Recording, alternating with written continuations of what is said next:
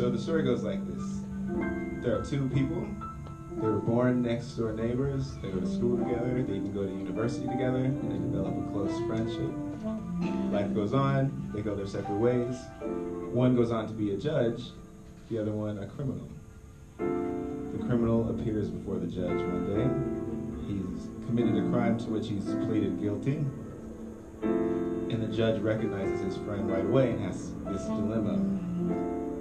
He wants to be just, he's a judge, he can't let people off the hook.